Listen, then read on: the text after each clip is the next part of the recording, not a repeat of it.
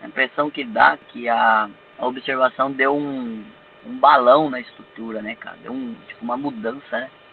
Ficou difícil alguma coisa grudar, né? Na nossa consciência, colocar assim.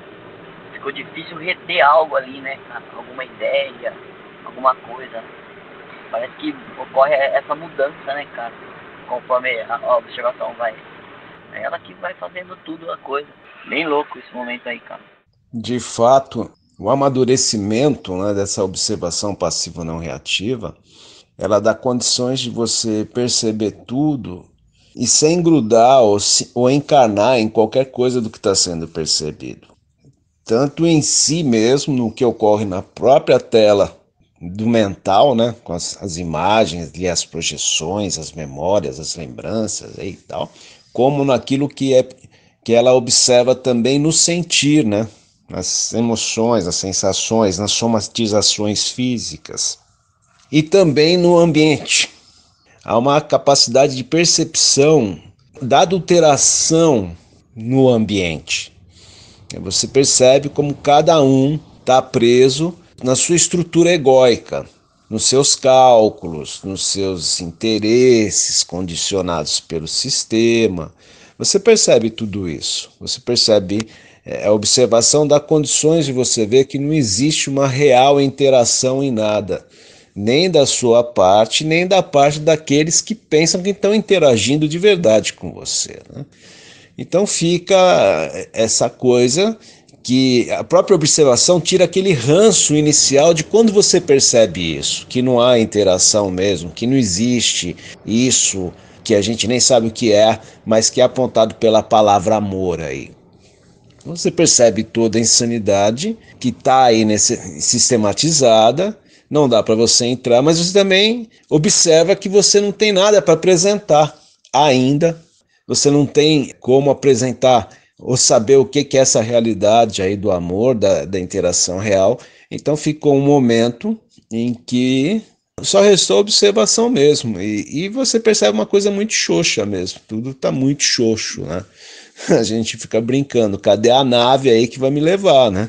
Porque não tem como participar.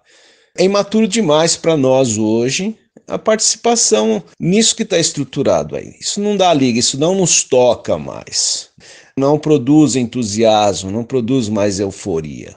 Você olha, é, é bacaninha tal, né? É bacaninha, né, velho? Você fica olhando. Hoje o que, o que sobrou hoje é observação, né?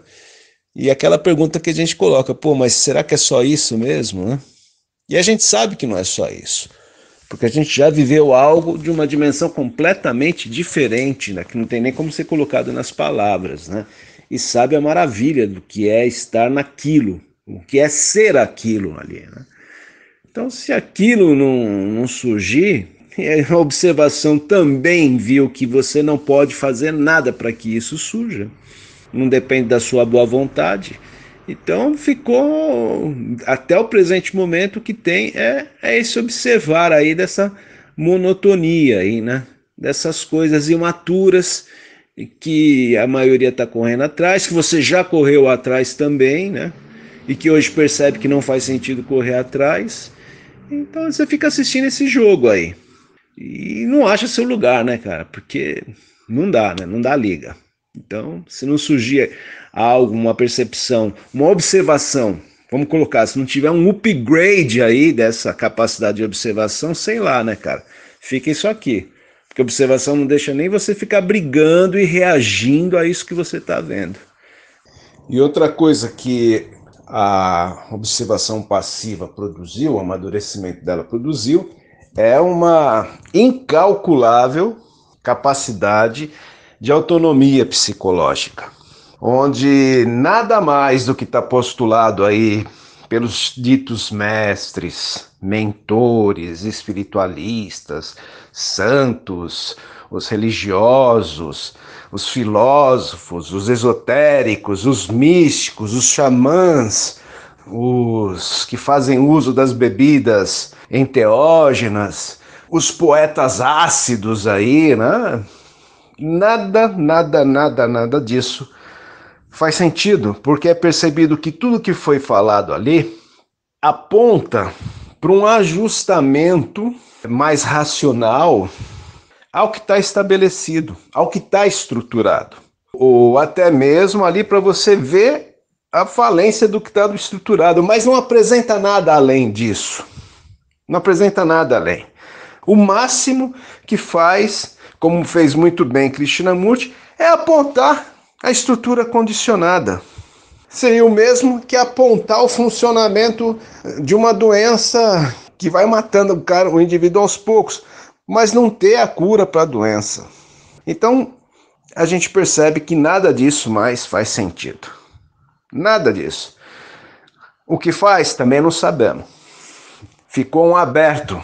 Permanece a nuvem do não saber. A única coisa que a gente sabe é isso que está aí já foi testado e não nos brindou com conhecimento do que é felicidade, liberdade, comunhão, compaixão real, amor impessoal, que não tem nada a ver com essa coisa que é confundida de amor aí, que é apego, é controle, é dependência, é codependência, é apego parental, né? É aquele apego ali aos umbigos que estão em volta daqueles que saíram do seu umbigo. Não, meu, nada disso aí.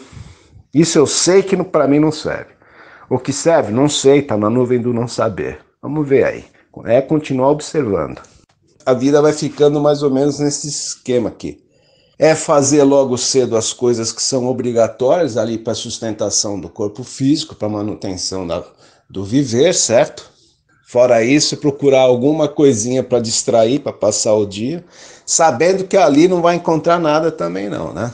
Então é dar a voltinha ali, a passeadinha ali, é pintar outra aquarelazinha aqui, mas sabe que nada disso tem o poder de apresentar o que a gente sente que precisa ocorrer essa revolução aí, essa mutação psíquica, essa mutação na capacidade de observar a realidade, sair fora dessa caixinha tridimensional que a gente está preso aí, porque a gente já saiu fora disso. Sabe o que é a maravilha de uma percepção que não dá nem para colocar que é quarta, quinta de, de dimensão, meu, não tem palavra para aquilo. Então você sabe, qualquer coisa que vai fazer já sabe, é, belezinha, vamos lá, vai. Vamos lá. E vamos indo, cara. E fica sempre aquilo, pô, mas é só isso? É só isso mesmo? Veja que esse é só isso mesmo não é uma coisa depressiva, cara. É uma coisa de, que não, de quem está querendo encontrar algo a mais. De alguém que, que sente que a energia está sendo jogada em coisas banais. Esse é o viver aqui do, do alto da década no momento. Essa é a percepção nossa.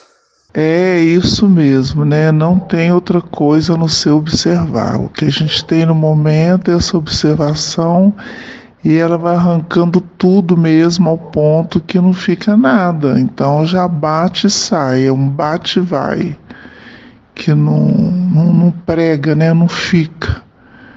Então, como você já disse também, é, é fazer mesmo as coisas que a gente tem que fazer dentro da medida do possível aí, que são as obrigações que não tem como escapulir, mas sabendo que são coisas que não vai levar a nada mesmo, e sustentar essa estrutura aí do básico que, que é necessário para para viver, né, para sobreviver mas não dá, não tem nada. Então, às vezes, a gente fica um pouco quieta, no meu caso, porque chega um ponto que essa observação ela vai aprofundando tanto que a gente já não tem mais assim muito o que falar a não ser observar, porque é muito rápido, vai passando tudo e a gente vê que é tudo passante mesmo, não fica nada. Então a gente vive, eu estou vivendo assim esses momentos assim. Sempre que entra algum condicionamento de fora, algumas pessoas que, que, que estão falando alguma coisa que chega até a mim, é, logo já é percebido. Não tem como comentar, mas pelo menos já é percebido, né? E logo que chega já é percebido e já. E não fica, né? Não fica preguento.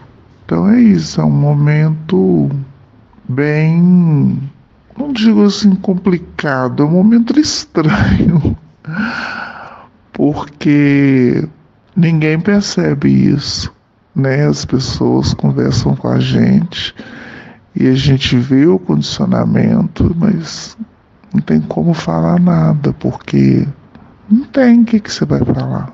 A pessoa não vai entender nada que você está falando. Então é ficar nisso aí mesmo e observar. Sustentado ainda sobre essa observação passiva não reativa. É isso mesmo, não tem o que fazer, não tem muito o que falar, né?